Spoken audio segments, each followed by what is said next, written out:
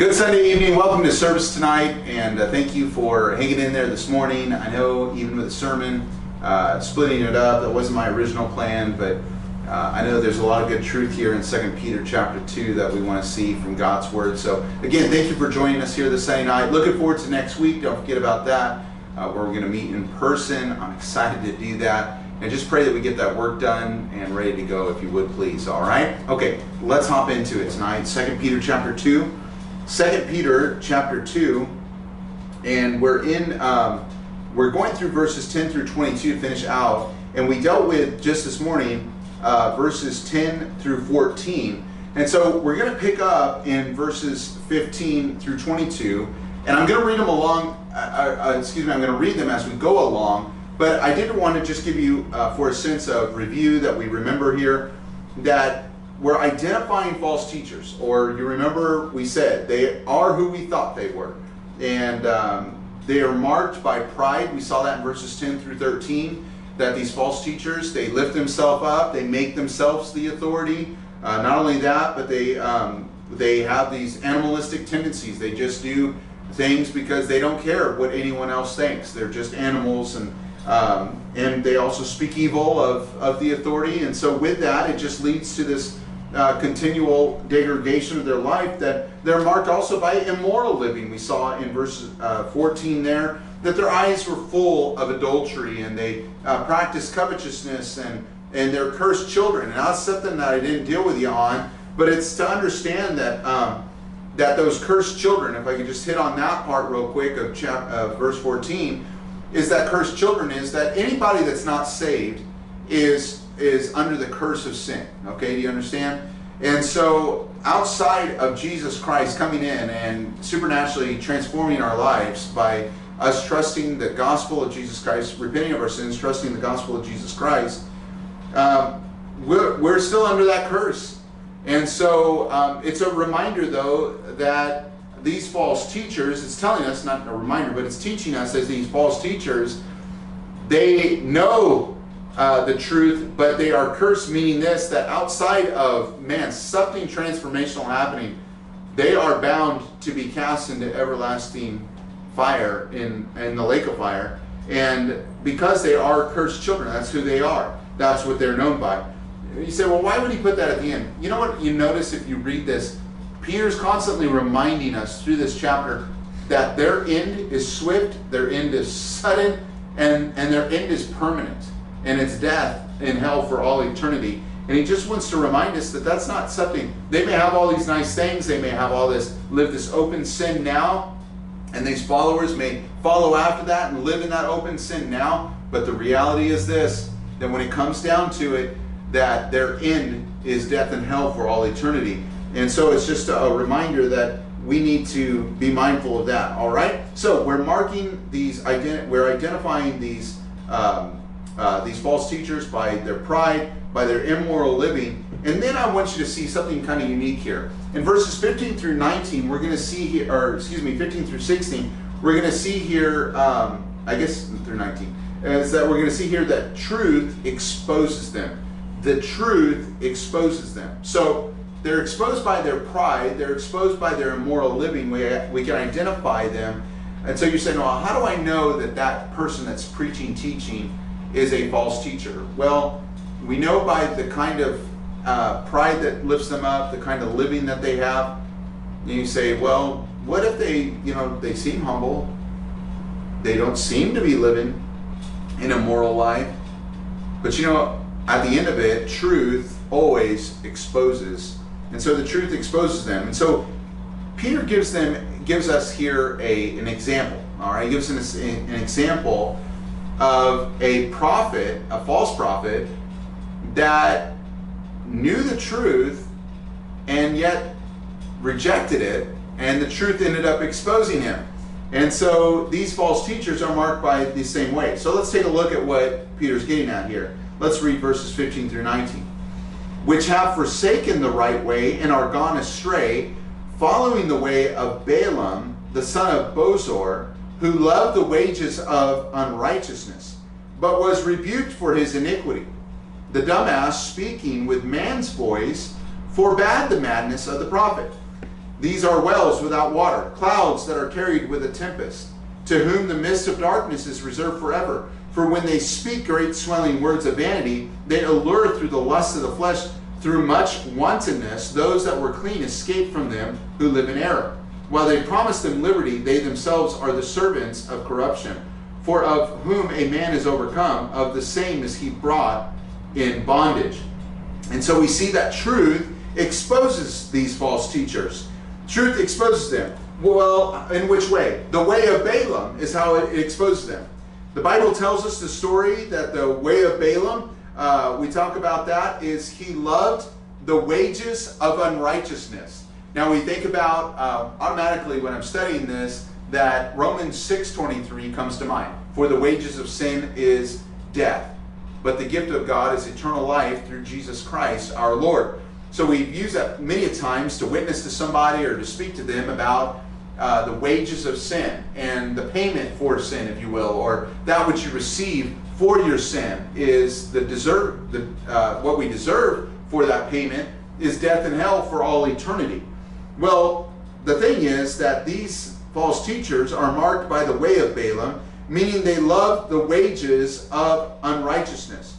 But I want you to see, first of all, that the way of Balaam started out in a, well, kind of a unique way. Look what the Bible tells us in verse 15.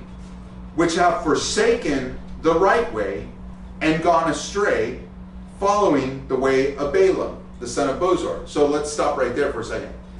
So there was a right way, and then there's the way of Balaam. And they went ahead and forsook the right way and followed after the way of Balaam. And the example of Balaam here is that in Numbers 22, we're going to turn there in a moment, but not yet. In Numbers 22 through chapters 24, the Bible gives us the account, uh, Moses writes down the account of this prophet named Balaam, who knew the truth, and God had revealed himself to Balaam, and but Balaam had a desire for, well, materialistic things.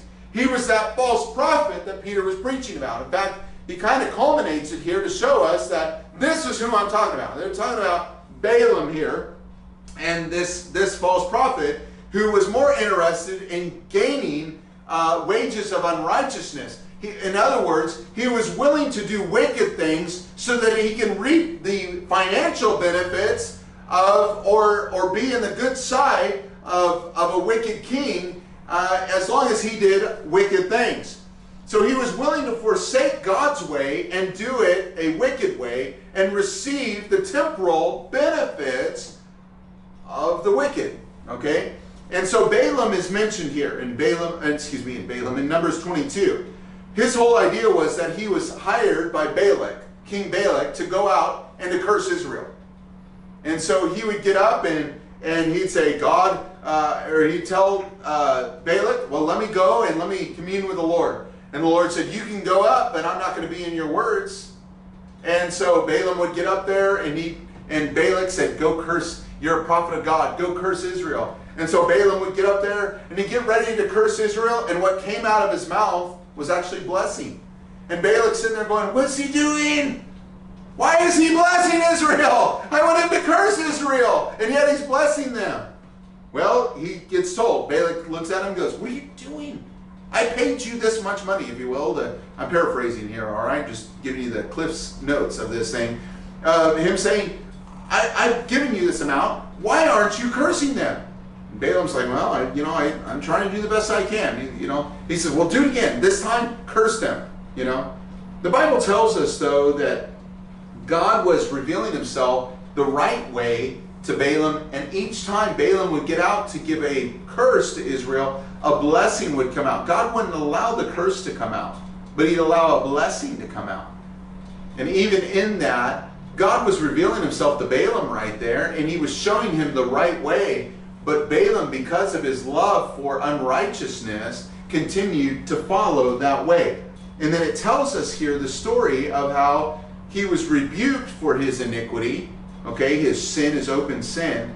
The Bible tells us in verse 16 the dumbass speaking with man's voice forbade the madness of the prophet. You say, well, what do you mean? I'm glad you asked. Let's go to Numbers 22 if you would. It's all the way in the Old Testament. All right? Uh, Numbers 22 in the Old Testament. It's one of the first books of the Bible, all right?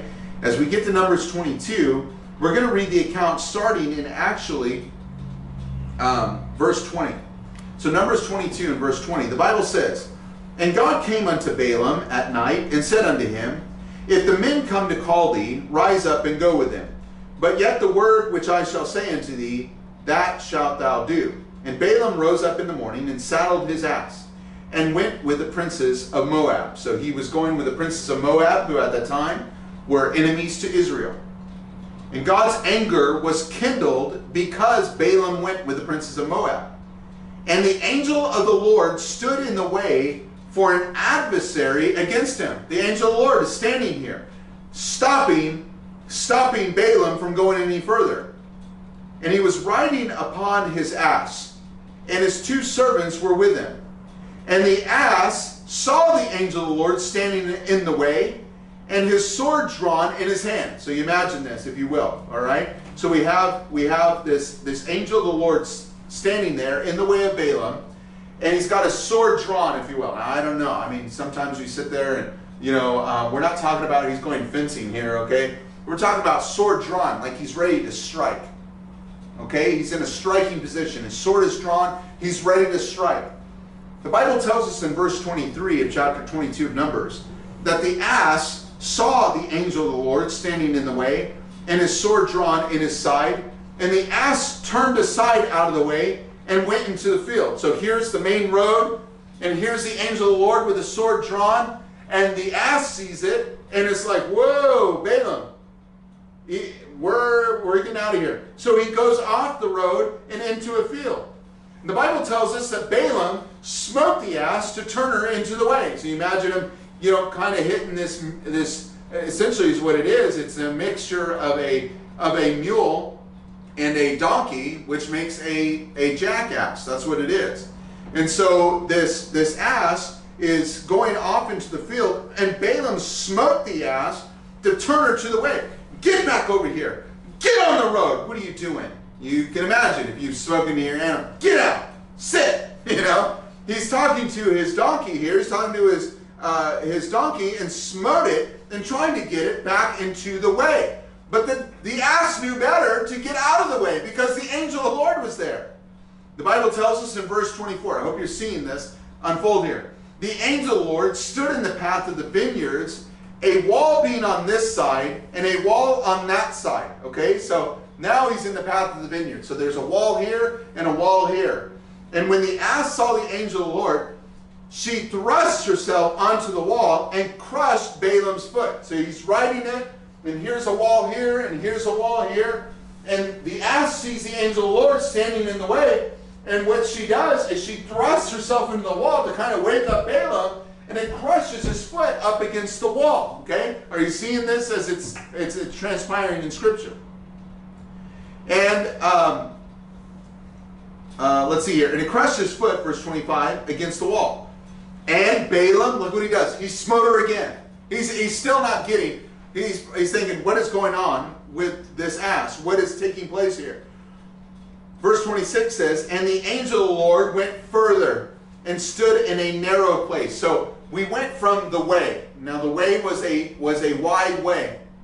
And there's much preaching to be said about the fact that then came two walls. Many times when God is trying to get our attention, God was revealing himself to Balaam. He was standing in the way, trying to get him to focus in on what he was doing. So he went into the field. So Balaam smote the ass. He gets him down into the vineyard with a wall on one side and a wall on the other. The, the, the ass she thrusts herself into the wall and crushes the foot of Balaam.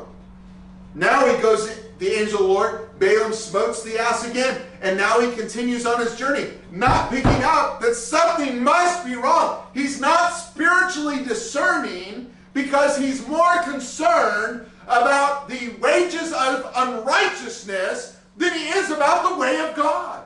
And that's what these false teachers are about. That's what it's exposing to us, and Peter's trying to tell us. Get excited here because there's more to this story. Bible tells us then that the angel of the Lord went further and in his grace stood in a narrow place where was no way to turn either to the right or to the left. So the donkey is stuck there, the ass is stuck there, with Balaam on its back. The angel of the Lord is at a narrow place. God is getting the attention of Balaam, but he's not seeing it. And he, smiting, uh, he smote the ass for this. And the angel Lord stood there, and when the ass saw the angel Lord, she just fell down under Balaam. And Balaam's anger was kindled, and he smote the ass with his staff. So now, it's one thing, he went to a field. Okay, his foot gets crushed. Now, the, uh, the donkey just, the ass just drops right in front of the angel of the Lord. And because it's a narrow place, and instead of saying, man, something must be wrong, you know, many times God's giving us, trying to wake us up to tell us that there's something in the way, but and He's given us these opportunities to turn from it, and yet we're not taking the opportunities to turn from it. Now, that's why I said there's a whole lot of preaching there. That's not even our message here tonight, but we can get into that. The fact of the matter is, though, that that as as this ass is laying down, now Balaam, instead of saying something's wrong, he takes his staff and he starts whooping this. He starts whooping this this ass and he's smiting it and he's hitting it, and he smote the ass with his staff. And then this is what happens. So unique. This is, explains that verse in uh, verse 16. And the Lord opened the mouth of the ass, and she said unto Balaam, What have I done unto thee, that thou hast smitten me these three times? And Balaam said unto the ass, Because thou hast mocked me, I would there were a sword of mine, for now would I kill thee. And the ass said unto Balaam, Am not I thine ass upon which thou hast ridden ever since I was thine unto this day? Was I ever wont to do so unto thee? And he said, Nay. Kind of funny. Always love that part because he said nay, like a horse saying nay, right? All right, that's where my mind goes. All right. Verse 31. Then the Lord opened the eyes of Balaam, and he saw the angel of the Lord standing in the way, and a sword drawn in his hand. And he bowed down his head and fell flat on his face. And the angel of the Lord said unto him, Wherefore hast thou smitten thine ass these three times? Behold, I went out to withstand thee, because thy way is perverse before me. And the ass saw me and turned from me these three times. Unless she had turned from me, surely now also I had slain thee and saved her alive. Now the story goes on, and we're not here to finish that story here tonight. Maybe for your own edification, finish Numbers 22 through 24 and see the story, the sad story of Balaam there. But the Bible tells us, Peter gives us the relation here, a biblical example, how truth exposes. The truth exposed Balaam's life, that the Bible tells us that truth was uh, exposed in Balaam's life. There was the right way, and he still went the wrong way. There was the way, then there was the way of the vineyard, and then there was the narrow way, and he still didn't get it, and he'd rather choose to go on and do the wages of unrighteousness and fulfill that. And God had to use, the Bible tells us, the dumb ass. When it says that dumb ass, it's talking about that uh, an, an ass that can't talk, a, a donkey that can't talk. It, it's supposed to be silent. But God gave it a man's voice to speak to Balaam, to wake him up, to go, hey, what you're doing, don't you know? Why are you doing this to me?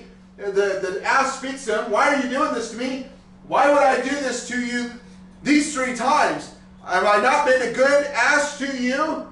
He's speaking to Balaam, and Balaam's, you know, sitting there speaking back to it. I don't know about you, okay? Two places in Scripture that really weird me out. Eve speaking to a serpent, and Balaam communicating to his ass. I'm just saying, if your dog, uh, let's let's let's pick on Damien and Mirtha here for a second, okay? Because because they have uh, they have Romeo out there, and I know they got Rocky and um, and Juliet, and um, I know there's another one. I'm missing the other one, but anyway, uh, Romeo, Rocky, and Juliet. Maybe it's just three. Anyway, but uh, you know, if if you know, the other day we were at the house and we were fellowshipping, and and Romeo sitting there and starts talking. And, you know, that would probably weird me out. But what if Brother Damien looked back at Romeo and said, Well, I don't know why you're you're so upset, Romeo.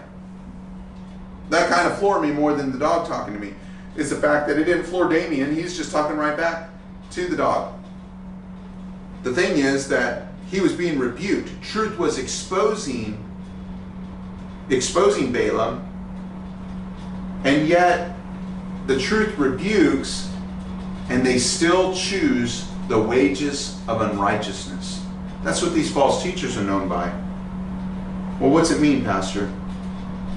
It means that they know many times the way of God and they know the truth, but they'd rather have the covetousness of their own heart and reap the wages of unrighteousness. You know what we could say? They would rather reap the wages of the temporal things of this life and take people down with them than be more consumed in living for eternity. So, the way of Balaam, maybe we can put it this way their love for money exposes them. It goes on in truth that exposes them is that their life is then revealed. The kind of person they are is revealed. So truth exposes their life. Just as much as the truth exposed Balaam's false being a false prophet. By the way, the Bible tells us that the, the, the ass speaking in verse 16 with man's voice forbade the madness of the prophet. Think about that for a moment. Peter compared to the fact that Balaam, at this point, he was so driven by his love for the wages of unrighteousness, his love for money being the root of all evil, mind you. He was so driven by that that the description here is the madness of the prophet. It had driven him to a point that he, he was like a madman that just wanted more and more and more. And that's what these false teachers are marked by. So then their life is revealed. Look what it says here. These are wells without water, verse 17, clouds that are carried with the tempest, to whom the mist of darkness is reserved forever. You know, basically what these types of false prophets and false teachers are, they're just they're just empty people.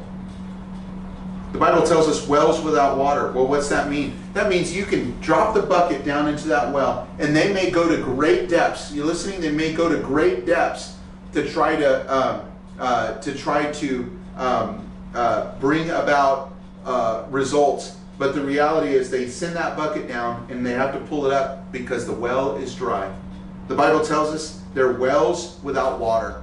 You, as much as they tr- keep dropping the bucket down there, then keep spreading their false teachings, they drop it down there, and they're they're they're just giving you this false sense that they've dropped the bucket. But when they pull the bucket up, there's no living water that comes with it. Hold on, aren't you thankful for Jesus Christ in John chapter 4 when he stood there at the well, at Jacob's well with the Samaritan woman? Then he said, Listen, this water, he even told her at that point, this water, if you drink of that water, you'll thirst again. But he said, if you drink of this water, you'll never thirst again. I'm so thankful that when we point people to Jesus Christ, we're pointing them to the living water. That whenever we open the Word of God and preach the Word of God, we're giving them water that satisfies. We're not dropping a bucket and telling them that all these things will satisfy, only to bring the bucket up. Then there's no water. There's nothing that satisfies. And that's what these false teachers, they're exposed by this in their life. They'll go to great depths only to find that there's no lasting results. Not only that, the Bible tells us that when they speak great swelling words of vanity, they allure through the lust of the flesh, through much wantonness, those that were clean escaped from them who live in error. Basically tells us that they're more consumed with these external things instead of true transformational change that comes from Scripture. Oh man, we can we can try to make people look good, and we can try to make ourselves look good. And these false teachers, boy, they can make themselves look nice and have all these nice things about them but they're more consumed with what they look like than scriptural change. They may be more consumed with whether or not that you look a certain way. So, hold on, you ready? So that they can look good around the brethren. Or they may want their, uh, God help us if we're more concerned as a church. Uh, now, we ought to do our best for the Lord, but if we're more concerned as a church that we look like whited sepulchres full of dead men's bones, God help us. And that's what exposes, the truth exposes that whenever the truth is lined up against their lives, it proves that they're just deep wells without water. It proves that they're more interested in the external than they are the internal. God is trying to transform us. He's not trying to reform us. God help us to get away from that. God help these false teachers that are spreading their false lies. And if we just look good and if we just give a good word, hey, listen, then we're okay and we're accepted the reality is I'm not so much concerned if I'm accepted with this world as much as I'm concerned if I'm accepted with Christ. Boy, believer, we need to see that in these false teachers. If you see them getting along well with the ways of this world, hold on, when you see when you see that they're praised by people that are wicked, then I'm telling you, there's there ought to be some warning bell going off in your in your mind in your spiritual life, going, hold on, no, no, no. Uh, see, because they didn't like Jesus, they hated Jesus. Jesus said specifically, if they hated me, they'll hate you. Persecution and suffering is a part of a believer's life. And listen, a false teacher you know, when they're marked by these things, they're marked by more than, than transformational change. They want to be marked by the wantonness, those things that, that make them look good, the vanity, and their swelling words as long as they speak good. Not only that, the Bible tells us that as this truth exposes them, bear with me now, it shows us that they offer liberty, they promise liberty, but they themselves are the servants of corruption. For of whom a man is overcome, of the same as he brought in bondage. Here they are. Here they are, snake oil salesmen selling you liberty, but yet they are bound in the chains of sin. Oh, I, I can't help. I, I, told you the other night that you ought to watch that um, Netflix. Uh, listen, uh, here, here I am telling you to watch Netflix, but on Netflix there's that American Gospel Christ Alone. You know, it, I didn't need that that documentary um, to to tell me things. It's stuff we already knew. But God help us, we get like Joel Osteen's up there that just, you know, if you just have a, if you just have your best life now, and if you just, if you just have the power of positive thinking and everything. Now listen, I want to be optimistic. I think there is something to be said about being positive. But if that's all that's driving, uh, listen, the reality is there's a lot of defeat and sorrow in life. And yet Joel Osteen's up there selling snake oil to people.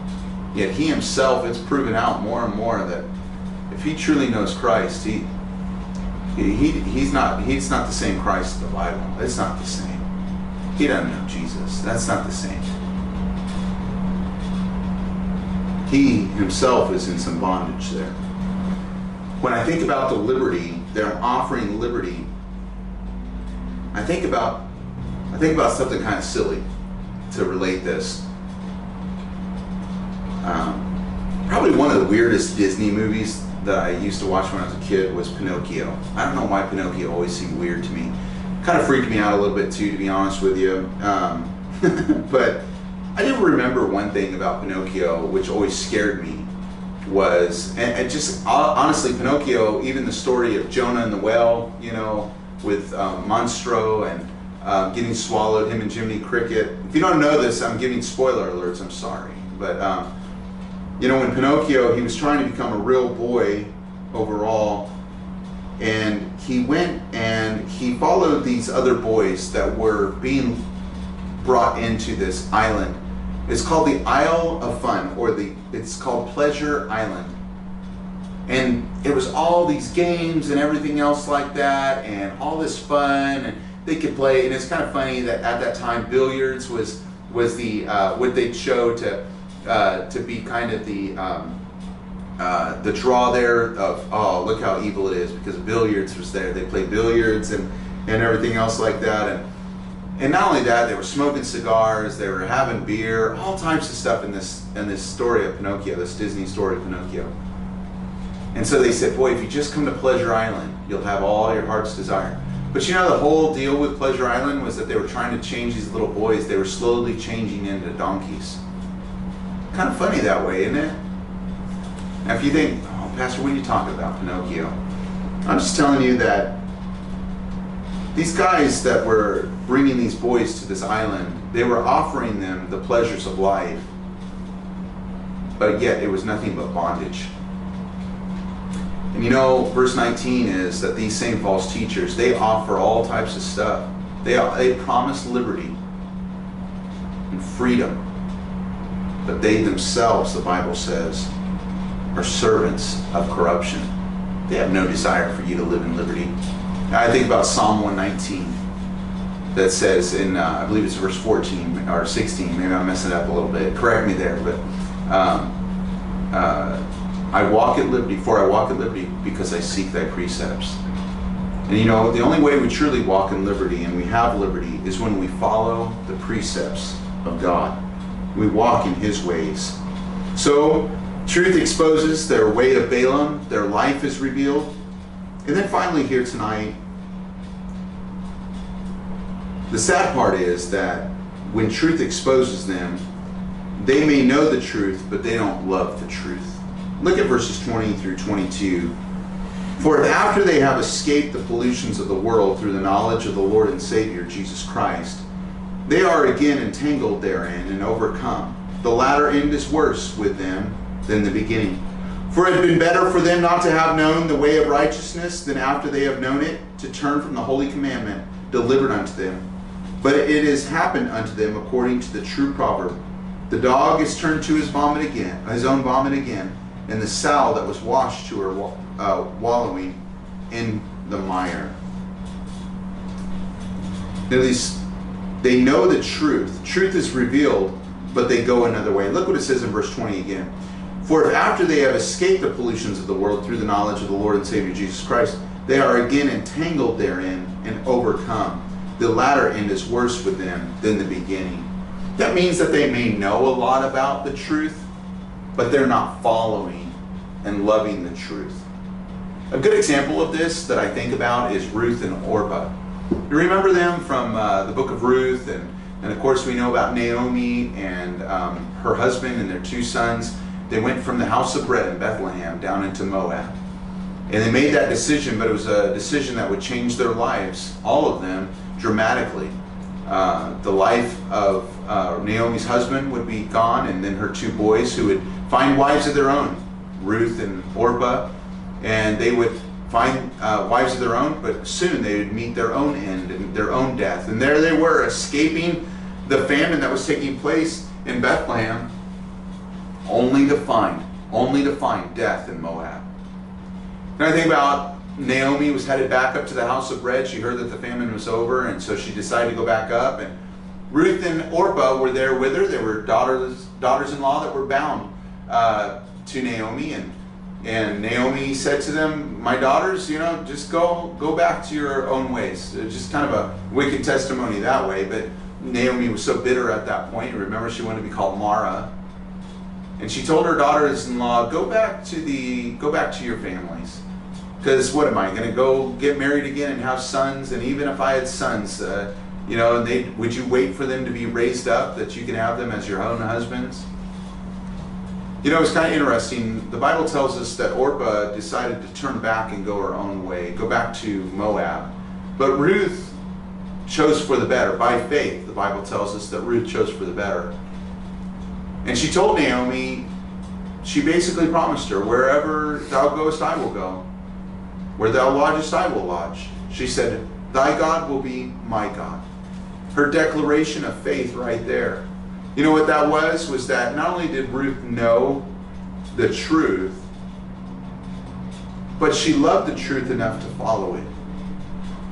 Sadly, the Bible after that doesn't mention Orpah at all. She's pretty much done after that scene, and Orpah is returned back to Moab, and as far as we know, she knew the truth, but she didn't do anything with it. You know, it's one thing then that the truth of the Word of God is exposed to these false teachers because God's revealed himself to all men. Amen? That's, that's biblical. But not all follow. Many go their own way, just like the way of Balaam. It's all tied in there. But Orpah and Ruth are a great example. I remember on July 27, 1995, God, and many, uh, many times through His grace and mercy, had revealed to me that I knew about Jesus, but it was time to love Jesus and know, not just know the truth, but follow and love, love and follow the truth. You know, I thank God that day that I made a profession of faith and became a believer and trusted Christ as my personal Savior. I wasn't just a professor of faith, I was a possessor of that faith because now Christ dwells in me. Maybe you have that same testimony. Maybe you don't tonight. I'm telling you, truth is being exposed to you. It's time to not just know the truth, but love it and follow the truth. The Bible tells us here that these false teachers and their followers they may know the truth, but they don't follow it. And just like Orpah, they go back to Moab. Not only that, but the Bible tells us then in verse 21 For it had been better for them not to have known the way of righteousness than after they have known it to turn from the holy commandment delivered unto them. You know, that reminded me of a passage in, in the book of Matthew where Jesus was speaking. In Matthew chapter 10, he was talking about the works that were done uh, in uh, Tyre and Sidon.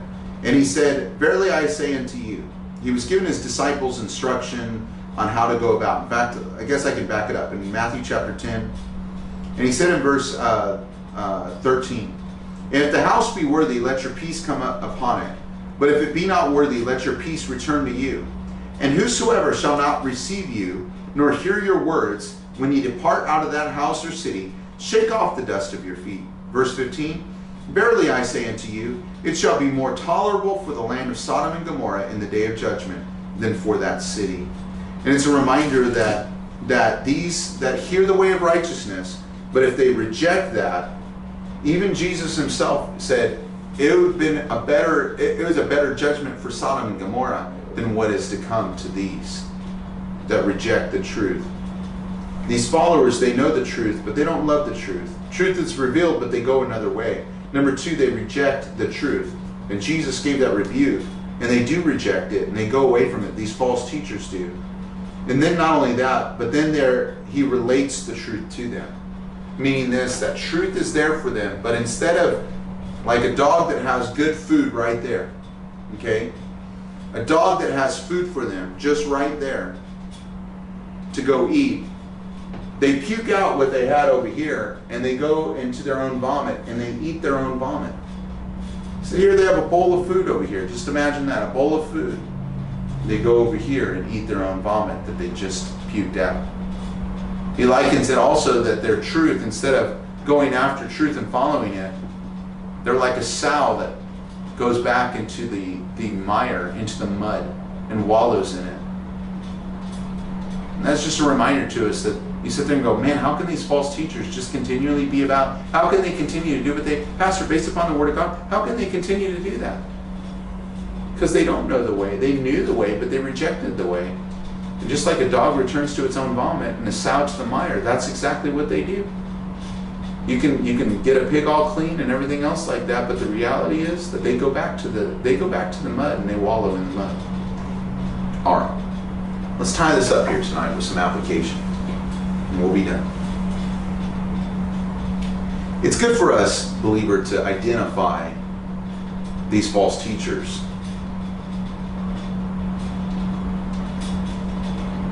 But let me ask you, if your neighbor, your coworkers, your unsafe family, your unsaved neighbors, your unsaved coworkers were seeking truth, could they take 2 Peter 2 and see any parts of your life that reveal that makes it look like you live a life of a false teacher? What do you mean by that, Pastor? What I mean by that is that maybe if we just open up 2 Peter 2 and we can identify false teachers, what if through 2 Peter 2, the Word of God, just like the angel of the Lord standing in the way of the ass and Balaam, is trying to warn us in our lives that we have identifying marks in our life of a false teacher? Instead of our identity being wrapped up in Christ. See, a false teacher is all about everything that they are, everything that they own, and all the followers that they have, and their rejection of truth. That, that's what they want to be known by. You know what I want to be known by? Like Paul said, I preach him. I, I, I, he basically said this I may not know a whole lot of things, but I know this. I preach Christ and Him crucified. That's what I know to do. You know, that's something these false teachers don't want anything to deal with. They don't want to deal with the truth. Believer, maybe we can identify false teachers and look at, you know, the Kenneth Copelands and the Joel Osteens and the Mormon and the Muslims and the the Jehovah's Witnesses and the Romanism and various others out there. We can look at it and go, wow, you know, that's that's wicked, that's wicked. But can we check our own life right now and say, man, is my life kind of marked by open sin? Am I just going about? Is my eyes full of adultery? Um, have I just, do I have an authority issue? Because the reality is that I want visitors to come to North Hills Baptist Church and I want them to see that we're not teaching false things. We're teaching the truth of the Word of God and letting it speak. And believe it, the reality is that every day you're approached by people in your life and your unsaved neighbors and unsaved coworkers and even your saved coworkers and saved neighbors and saved family members and unsaved family members. They're approaching you and they want to see truth coming out of your life. Maybe today that you you know the truth, but you're not a lover of the truth. These false teachers, they they're they're controlled by how they feel and what they just want to do, like an animal does, instead of governing their life by truth. Maybe your life is so wrapped up in the materialistic things. If you just have more, you'll be happy. If my kids just have more, they'll be happy. No. No, there's a lot of people that have a lot of things that pay a lot of money to psychiatrists because they're very, very unhappy. Oh man, even the message that I was going to preach to you tonight was out of Ecclesiastes 7, where Solomon just simply said that it's probably, can I put it this way? It's better to go to a funeral than it is a birthday party. Because you're going to learn a lot more at the funeral about life than you are going to learn at the birthday party about life. You know, many times we just think, man, if I'm just happy. Hey, sometimes it takes mourning. It takes mourning to wake us up to wisdom and what God's trying to teach us and grow us in. Sometimes God's given us, maybe tonight, God's giving you some warning signs in your life. He's, he's setting up a way. He's setting up a narrow way. He's set up a, a way in which you can't go to the left or to the right. And, and all you can do is just go forward. God's trying to get your attention, but yet you're still rejecting that. And don't be marked by these things. That's what false teachers are marked by.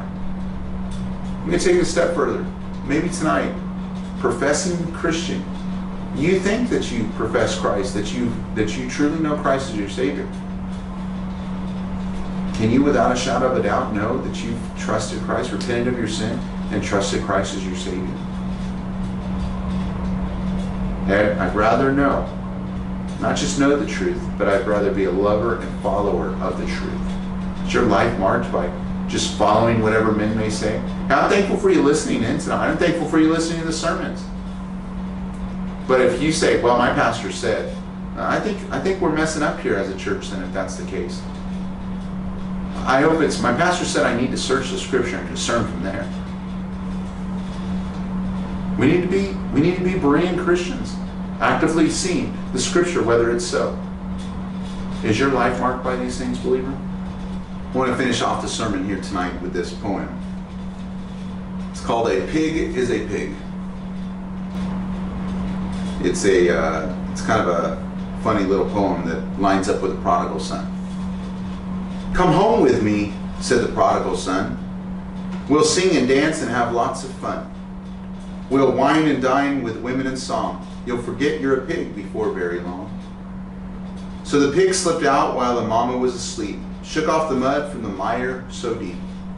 Around his neck was a bow so big, he's going to show the world a pig's not a pig. With his snout in, his air, in the air, he trotted along with a prodigal son who was singing a song. It must be great to be a rich man's son. He would surely find out, for the day was done. It didn't take long, him long to realize his mistake. He had been scrubbed and rubbed till his muscles ached. He squealed when they put a gold ring in his nose and winced with the pain when they trimmed his toes. He sat at the table on a stool so high, a bib around his neck and a fork to try, while the prodigal son in his lovely robe kept feeding his face, so glad to be home. When the meat came around, the pig gave a moan. It looked too much like a kind of his own. He jumped from his chair with a grunt and a groan, darted through the door and headed for home. His four little feet made the dust ride so high, for he didn't stop till he reached that sty. It's what's on the inside that counts, my friend, for a pig is a pig to the very end. Can't help but think about the fact that when it comes down to it, to end off chapter 2, Peter could say to us, they are who we thought they were. It's just as natural for a dog to its own vomit and a sow to the mire. It's natural for them. earnestly contending for the faith, identifying these false teachers by their works. Father, I pray that you just bless this sermon and help it to go forth and speak to us, God, that we need to grow and we need to not just identify false teachers, Lord, and false things that are being said uh, about the Word of God and, and things that they may eschew from the Word of God. But Lord, also see it in our own life, the hypocrisies that are there. Lord, that you're trying to get our attention, not to be marked in of identity, identity of a false teacher, but identity that's found in Jesus Christ. Help us to be who we are in Jesus. Thank you for this time tonight. In Jesus' name,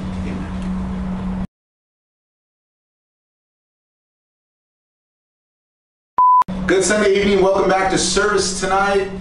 And I didn't change my tie. Oh, it doesn't matter. No, it's fine. Just keep going. No. All right.